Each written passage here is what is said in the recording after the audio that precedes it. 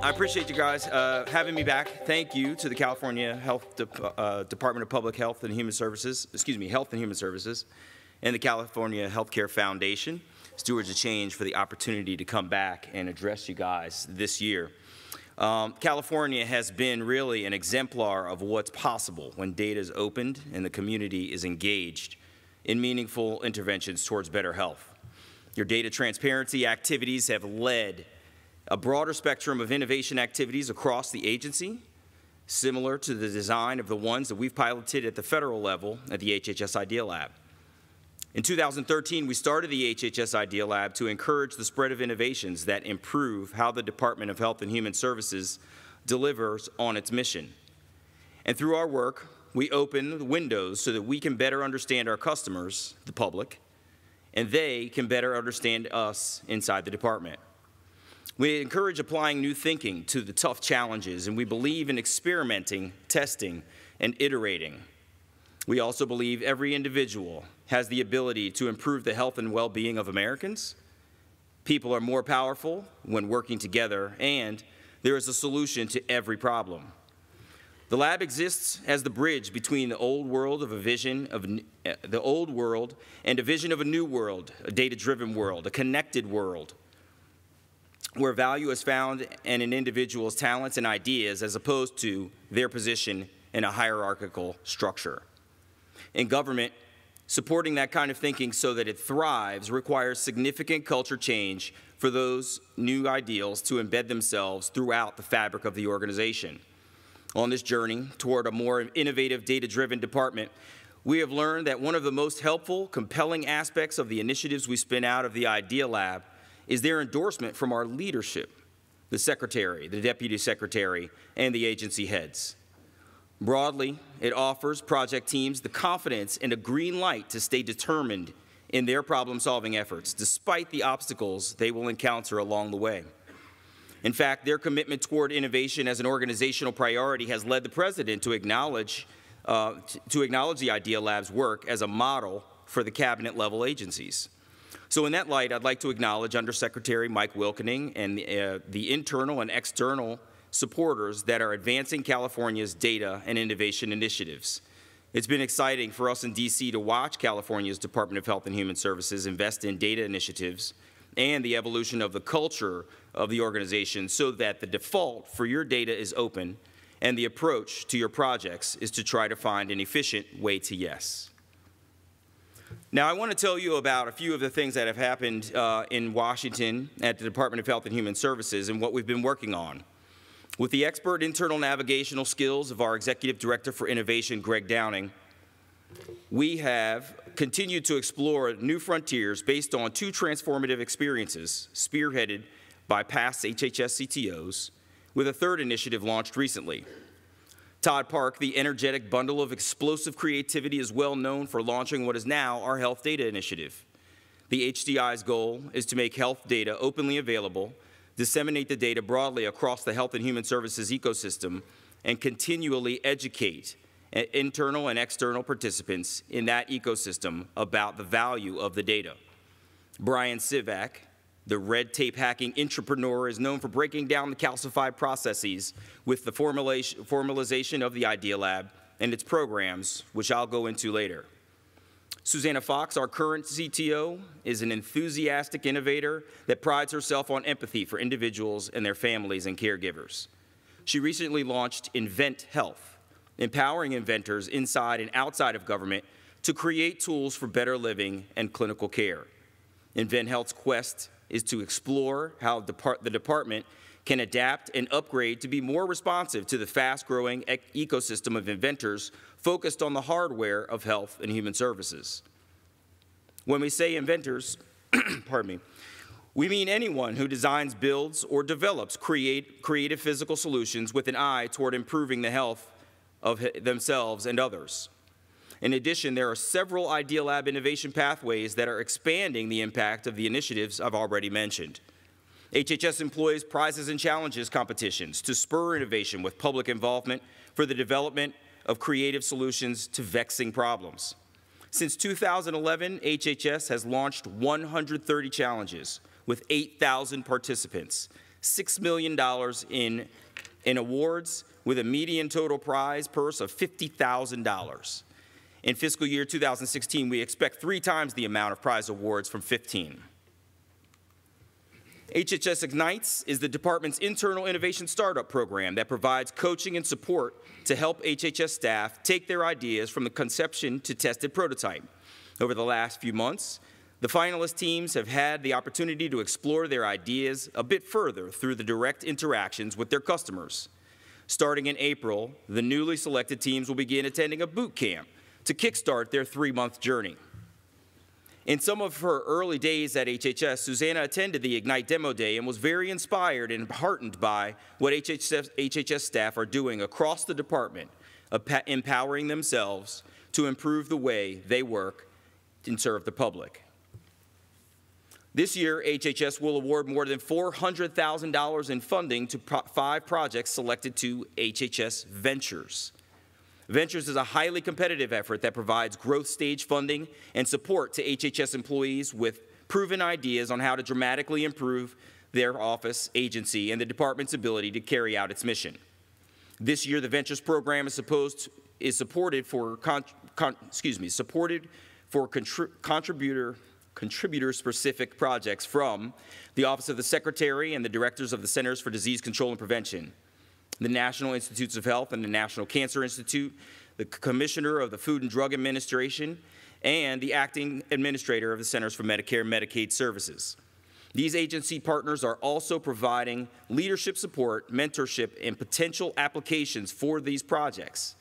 This year's tranche of applications showed collaboration across agencies, more stakeholders and applications than ever before. We received a record 27 applications for ventures. Interestingly, but perhaps not surprisingly, many of our HHS Ignites and Ventures projects are also data-driven and data-producing. The HHS Buyers Club is a project focused on addressing the critical problem in government, modernizing federal acquisition of information technology and related services. Given the expansion and impactful, excuse me, given the expansion and impactful role of digital services throughout government, there are many opportunities to improve existing acquisition methods that support government services, directly benefiting the public. Current federal acquisition approaches reflect unnecessary operational and cultural barriers to success, including, but not limited to, the lack of true end-user stakeholder engagement from cradle to grave in a manner that maximizes value while minimizing spend. We're not implementing new regulation for any new statutes, but rather emphasizing the strategies allowed under approved legislation. So I hope you'll see the notion in the Idea Lab is to promote an innovation pipeline that we are developing to support internal innovation from idea to implemented solution. But ultimately, the goal is not to have an Idea Lab forever. We've often said that the mark of our success would actually be when there's no longer a need for an Idea Lab. Now, establishing an innovative data culture also requires, to a degree, a data-driven culture as well. US CTO DJ Patil says that data-driven government responsibly gathers, processes, leverages, and releases data in a timely fashion to enable transparency, create efficiencies, and provides security while fostering innovation. This administration has sought to enable better data management and transparency since day one. The desire was first signaled when on day one of the administration, the president signed the executive order to ensure open data and machine readable data in the new as the new default for government, and that has inspired a renewed drive toward better health, data curation, and dissemination practices than ever before. I want to recap a few of the initiatives in government just to repaint the picture of what's transpiring uh, of, in data policy and coordination perspectives.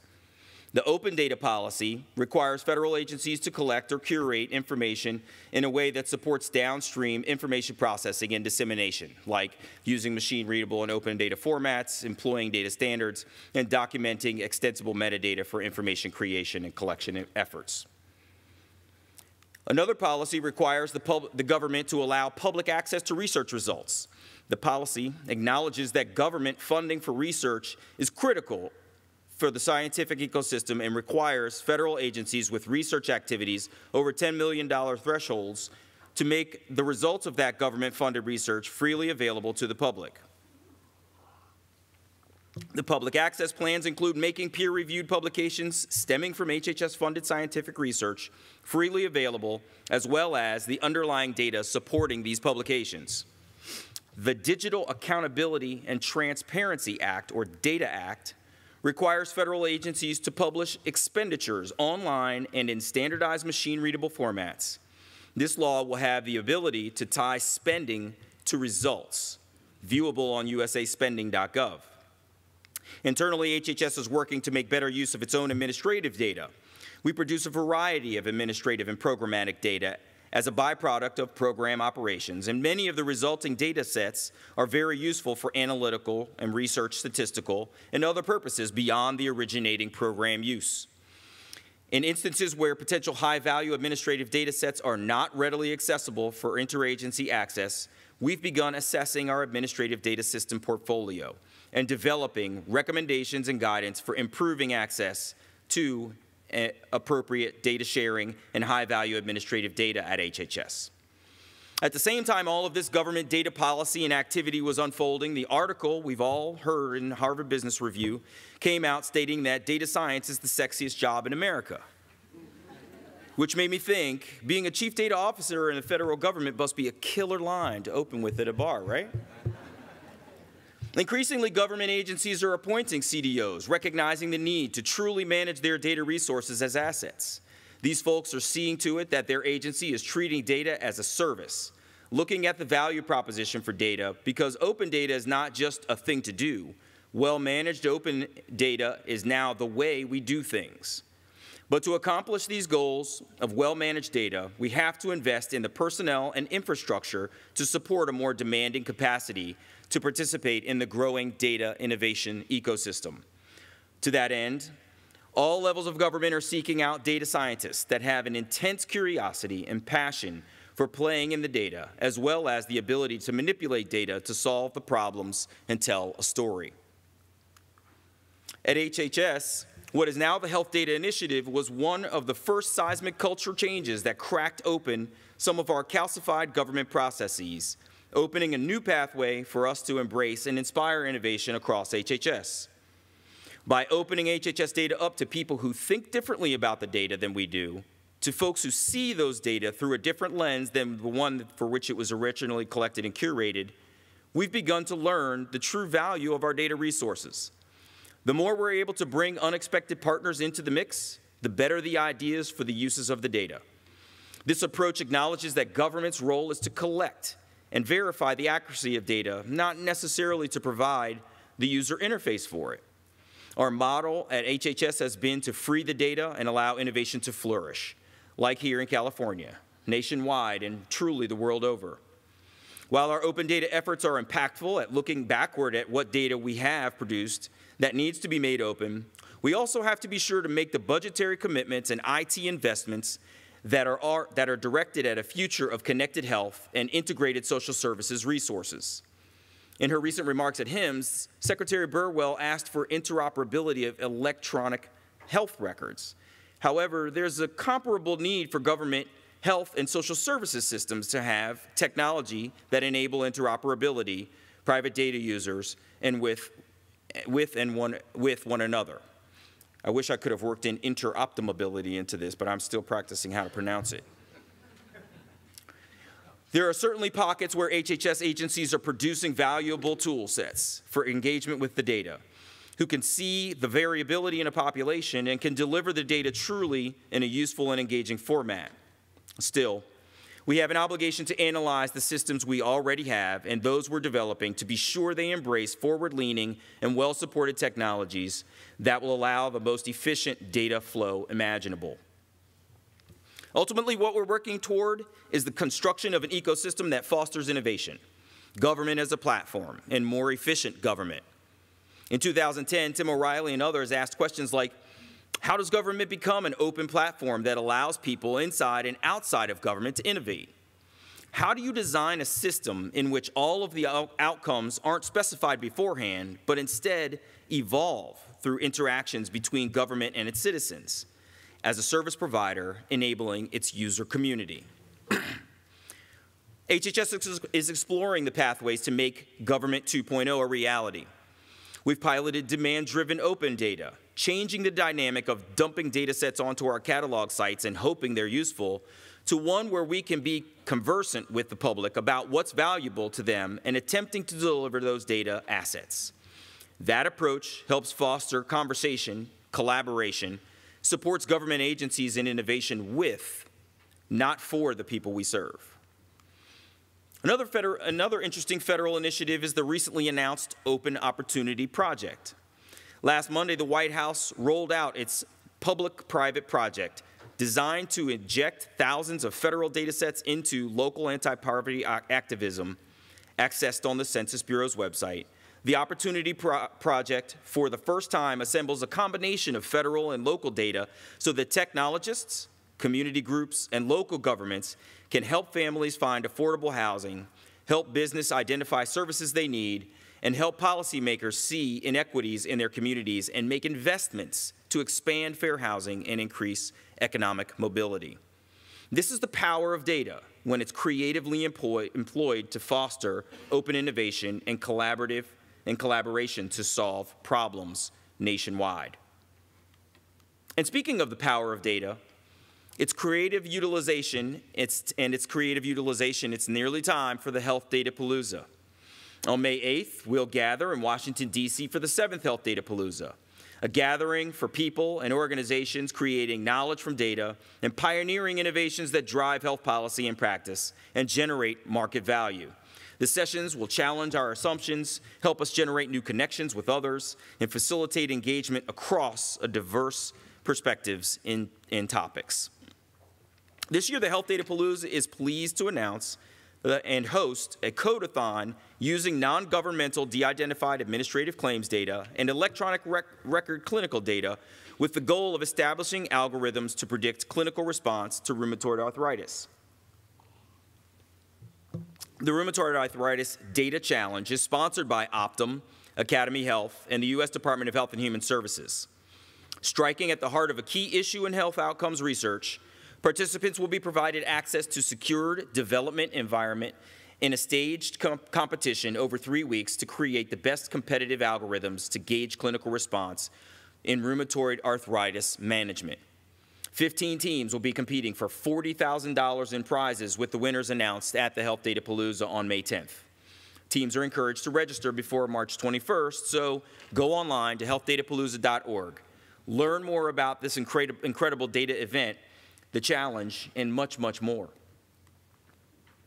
You know, back at HIMSS, I also heard John Halamka, a leading health IT expert, remark that this it is now possible to connect the entire health ecosystem, including government. Adding the fact that if you want to have a, com a company that holds data instead of connecting to more data, you will be left behind because connecting the health system is happening with or without you. From my view, the same can be said for government innovation. Get on board because it's happening with or without you. But the ideas, implementations, and outcomes are going to be so much better if it happens with you. You, the government innovator who has a great idea for how to do your job more efficiently and effectively at a lower cost. You, the philanthropy that is pressing on for innovative approaches to data driven healthcare interventions for community and population level outcomes. You, the entrepreneurs that need higher quality, more timely data to truly disrupt the status quo in healthcare, driving us to a high functioning, connected health and social services system. And you, the engaged citizen who sees the most direct way how data driven policies affect your family, your loved ones, and our neighborhoods.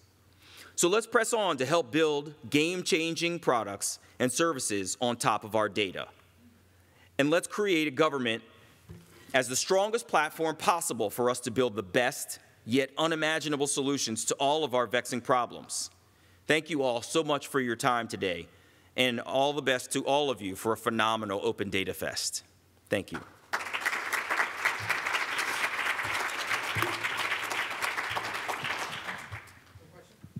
I can take questions if you'd like. Are there any questions? Right here in the front. I'm curious. Hello? Okay. Hello. I'm curious about what efforts there are within all of these various initiatives uh, to reach out. You know, what, how much, to what extent are they federal, period, you know, to improve the performance of the federal government? Mm-hmm. And to what extent are there tentacles that come out to the states and to localities Mm-hmm. uh, to, to drive their work? It's a really good question. You know, um, speaking from the open data perspective, and especially to my government colleagues in the room, there are a lot of things that you can be participatory in at the federal level. So, for example, uh, there was a call this morning for the Open Data Biweekly call, which basically is a convening of government representatives who are focused on data and open data, data management, et cetera, uh, to be part of this conversation. And it's not limited to feds. So there are state representatives that come on the call and uh, are often making presentations about things that they're doing.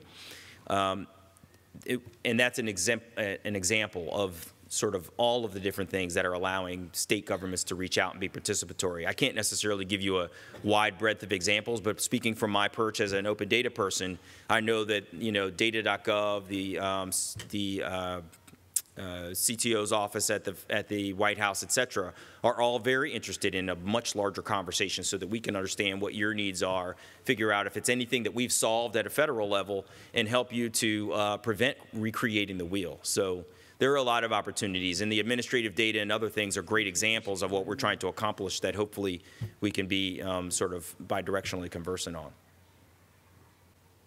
Are there others? Try to sort out my thoughts in my head. Starting with the thoughts through my head, making it more concise. Um, I'm a child abuse investigator, but my other life, I'm a hacker, and I go to hackathons, and I that's what I do. I go to hackathons, government related, Thank you. white hat, everywhere, from Stanford all the way to San Diego, Awesome. and across. Um, so whenever I see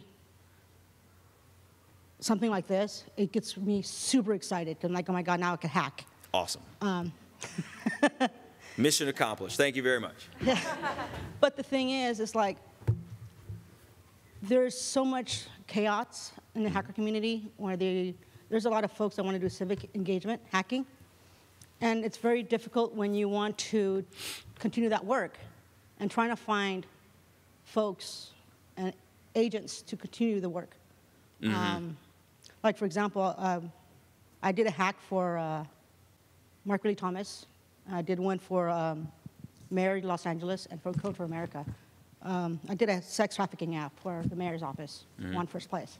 Did one for Code for America, won first place out of 546. cons- Uh, Can you put the mic up just a little so I can hear you a little better? Thanks. well, the thing is, because of all the stuff that I'm doing, there's a whole cadre of folks that love to do this in the tech, but they don't know where to go. Um, there's Code for America and there's other groups out there, but they're not connected. I see. And so there's a lot of repetitive stuff. Um, then you have, so I, I understand the industry really well because I've been in it for such a long time, 19, social services in 1995. So I get it. Um, but the tech industry is hungry for this stuff. But they, literally, there's, they're lost. So what I think I hear you asking Yeah. is how can we better connect the efforts that are sort of, well, disconnected and better sort of communication so that you can understand what's transpiring even in your local community, let alone what's happening nationwide. Is that roughly? You're right, like for example, um, I have some friends that do really good hacking applications, but it dies at the local level. Yes. and it has national implications. Mm-hmm. I see what they're doing, and it's incredible work, mm-hmm. but it dies. Yeah. So that's an interesting thing. You know, we, if I could make a, what I think is a little bit of a parallel, there's, um, so for me in the open data space, one of my challenges is constantly being in touch with the organizations that are using our data and understanding what their use case is. Um, and not stealing their secret sauce for why why the data is valuable to them, but pointing to their use case as demonstrative of the value of the data, right? And I think that what you're outlining is a similar thing. How can I prove out that the app that I'm that I've created, that the hack that I've done actually has a broader implication than this 48 hours that I've spent in a room with, you know, potentially a bunch of strangers or some of my best friends. And I, it, one of the things that I would love to do, and I'm not sure that when I'm going to get to this, is sort of the marketplace of things that have been developed, right? How could I show on healthdata.gov, for example, that this Administration for Children and Families data set is out there and it was used by these two organizations for this outcome, so that on a national platform, people can see not only the data's availability and the formats that it's available in and the documentation, et cetera, but here's an application of it over here. And for anybody who might be looking for something along those lines, they now have a resource to come to to say, oh, I didn't realize somebody had developed this. Let me reach out to that organization. And it sounds like what you're pointing to is a similar need where we're doing a whole bunch of hacks nationwide, and many of them are focused on administration for children and families or you know social services data. Many of them have likely solved some of the same problems more than once. I, so it's a really it's a really cool concept. Is how do you network the solutions to be in um, a discoverable almost marketplace of here's what we've done. Can I team up with you in New York or Atlanta or whatever to build this out further and test, you know, the pilot in your in your local neighborhoods or whatever. I think that's a, a fascinating concept, and it would be really cool to have somebody stand up a place where, boom, you've stood up. I love it. I think that would be really fantastic. Actually, is that would be great. Somebody else over there? Hi, uh, my name is Lawrence Grodeska. I'm with a group called Civic Makers. We're also in the civic hacking community down in the Bay Area, and uh, I just wanted to share that we see the same uh, pain point for the whole civic technology, civic innovation space, and we've been prototyping a, uh, a platform for sharing projects. Um, civic hacks, um, data sets, et cetera. Mm-hmm. Um, so I'd love to, anyone wants to talk about that particular issue and how to create opportunities to improve information sharing and, and uh, knowledge sharing, we're all about it. So we'd love to talk. That's really awesome. I was going to make a comment. Steve Posnack from ONC, they recently put up something called the Proving Ground. Mm-hmm. Maybe familiar with that. I didn't yeah. know if you wanted to say a little bit about it because it sounds like there could be application to this community as much as what they're doing on that yeah, side. I, am going to have to ask you to say something. I'm yeah. familiar with it, yeah. but I don't know details, and I wouldn't want to speak out. Yeah, so it just was la- actually just last week. It, it it, it came out. We were uh, looking at ways to connect the interoperability projects that are going around the country, looking at how do you map those things so that people are not recreating the wheel all the time and that there could be a general map, especially with all of the new investments that are coming out now out of CMS and CMMI and ACF. And there's just a, and all of the work that's gone on mm-hmm. uh, for the last couple of years, CMS, there's a lot of stuff going on, but it's really hard to know what's happening. So the Office of the National Coordinator, Steve Posnack, put up a very lightweight site called the Proving Ground, which allows people to go onto it, put in their effort. It's very HIE oriented at the moment in time, but it looks like it could be easily sort of uh, tr- sort of transferred over. So it's a, I think it's a user uh, driven site where you can put up you know some criteria that they put up to fit with some of the federal 508 compliance things and mm-hmm. some other things like that but it might be a place to go look because it might be already there. You could take an instance of it and just start to use that as a way to do it without having to create a whole other thing there. So that was one of the things. But that's interesting. So there's a theme here of the cataloging of efforts, yeah. not just resources, but you know, cataloging, cataloging and marketing and sort of uh, notating what kinds of things have already transpired. It's a fascinating thing. I think they experience that across California itself. It's so large that there's a lot of events, a lot of oh, things yeah. are happening here in the state that many people are not even aware of because there's not necessarily a place yet to, to share all that information. Mm-hmm. Anybody else? All right. Oh, one more.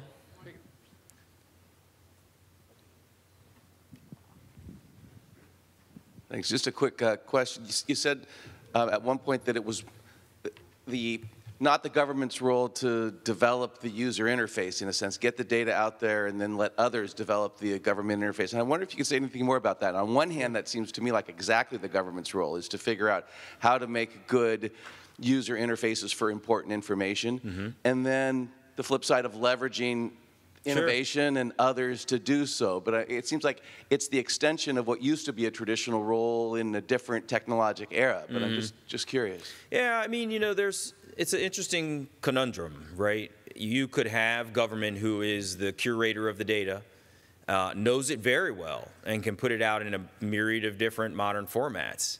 Um, do you necessarily want me to do the job that Yelp could do for me, right? Or some of the other private industry companies that are working diligently toward understanding the customer and their needs from a, a data and service perspective. We could get into a position of, of potentially trying to almost be uh, developing and marketing and getting away from some of the things that would be directly related to the collection of the data. You may end up setting up a long lineage of additional services that basically takes away from something that the private sector is already doing uh, way better than we are, right? Um, so I, I think there's a little bit of a balance there of not necessarily standing up a software development shop to create, you know, the amazing uh, sort of private sector style thing. However, I think it is important for us to get away from some of our clunkier websites that are not modern, that don't have, you know, API accessibility, or even some of the other types of machine readability. So that's where I feel like the line is, is not necessarily, eh, we- we're phenomenal at the data collection, and we've been doing it for, you know, hundreds of years. I saw something where census has been collecting since 1792 or something like that. Um, But, so we're really good at the data collection piece. The question then becomes, you have an interesting use case for the data, and these folks over here have an interesting use case for the data. How do I go out and examine literally the entire nation and figure out what the different use cases are so that I can satisfy a customer base that's quite literally the United States population?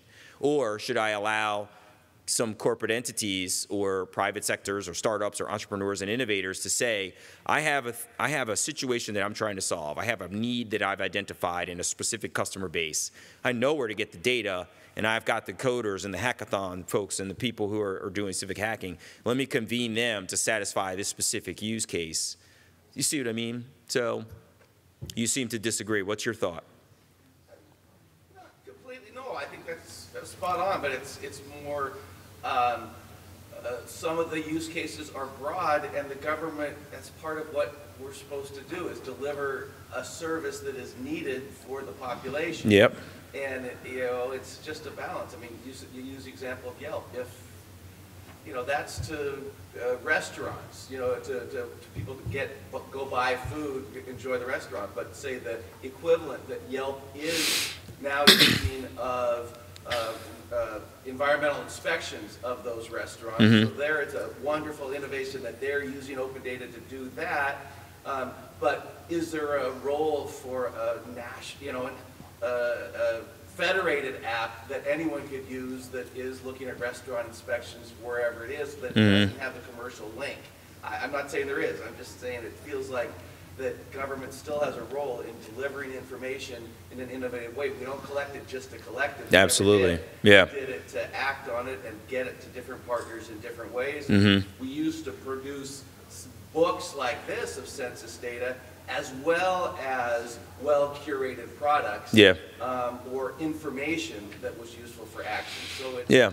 I think what we reached, though, is a point where um, those tool sets that were developed originally have evolved because we're in an online era now where literally, I mean, quite literally, every single person in this room could go to the same data set, see it for a completely different reason, and have a different app that they would create based on that data and the combination of some other data too in, in a mashup. So that's kind of the tension that I'm talking about is um, let, let government data curators collect, um, manage, make open, and you know easily accessible through machine readable formats, and then let all of you guys take whatever ideas that you have and move that data into the next phase. So there, there, I think there's a sort of you can cross the finish line in terms of collecting, curating it, and making it open, and then thereafter, I think it's probably an opportunity for someone else to do something really interesting with it. Hi, uh, Phil Leaf from Johns Hopkins. Uh, Two other groups that I think just because I've just been in meetings with them or they've actually convened hackathons for, for getting information, not necessarily. So I was at Ashoka two weeks ago, and almost every one of their programs and things were involved in going cross-sector data kind of things. Uh, so again, just places that, that are developing informations and, and networks. Uh, many of them are not necessarily networked into formal government organizations. Uh, and the second is in, in Baltimore, we've had a number of hackathons because we have a lot of universities there, and even our high school students have gotten involved. Yeah. So finding out what some of the universities are doing and, and, and maybe even just helping to recognize some of the work they're doing, because again, uh, many of your the grantees of HHS are not necessarily in the same network mm-hmm. a- a- as this, this part of things, even though the federal government's you know, funding a lot of these things. It's just sort of pointing out two opportunities that are actually going on all over the country, mm-hmm. uh, because we all have universities in our places, and the university students are real, and even the high school students are, are really very excited about it. This is an opportunity. Mm-hmm. And so even just making them more aware of some of the things that, that the HHS has formal discussions, because again, I think that that uh, they're, they're not necessarily totally siloed, but I think that there's not a lot of good communication across the two yet. HHS and the federal government obviously has lots of good communication with with both the the the, the uh, NGO kind of Ashoka types and certainly with the universities uh, for facilitating some of that information exchange. So I think what I heard was better communication about the various things that we're working on so that you can understand where to engage. Is that roughly? the things that are being engaged on, and as well as as there's some better, you know, again, more sophisticated apps or better apps.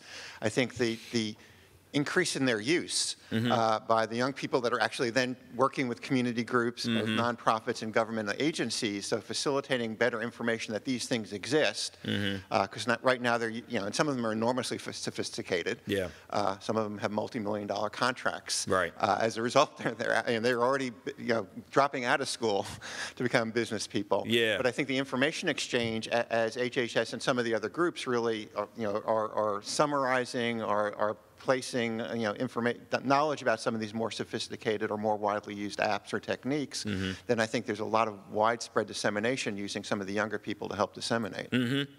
And that's the goal is, you know, there's so many people across various networks that are spreading the word. I mean, to the extent that we can get the messages out as, in as many places as possible, you know, there's nothing but benefit that can come from that. It's really exciting to see. The challenge, I think, is like, how do I do my day job and, you know, engage with the public on a regular basis and create the, uh, you know, the graphic user user interface that's going to allow for, you know, or the, the service that's going to allow for um, really good customer engagement across a wide spectrum. It's just a lot of stuff to do, and I think that's why we're all in this room is because we all need to help each other to do these things together.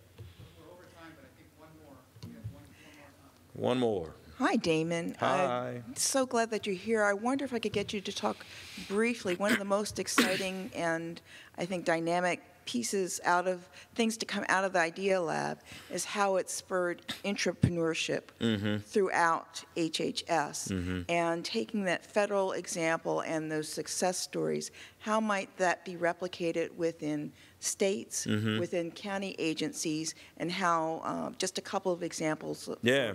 out of that. I think one of the things that was really powerful about this the uh, the rise of the Idea Lab was that folks didn't actually realize that you you had a they didn't have a safe place to go to say, you know, I've got a really cool idea, I just don't know how to do it.